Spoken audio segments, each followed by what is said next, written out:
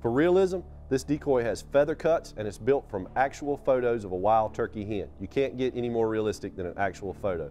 Additionally, you can mold the head to get the exact pose you want out of it. So you've got feather cuts, you've got moldable head, and you've got printed from an actual photo. Versatility. This is three decoys in one. You can do a feeder pose, you can do a looker pose, or you can set it on the ground and have a breeder pose, all in the same decoy. You can make it be whatever pose you need it to be at that time. Portability. This is the most portable 3D decoy on the market. It goes from this to any of these poses. Lightweight and it's quiet. No noise, no banging around in your vest or however you carry it. Quiet and portable. It's the all new Miss Purr-fect 3D hen from Montana Decoy. It's realistic, it's versatile, and it's portable. Visit your local dealer to see one for yourself or go to Montana Decoy, but make sure you have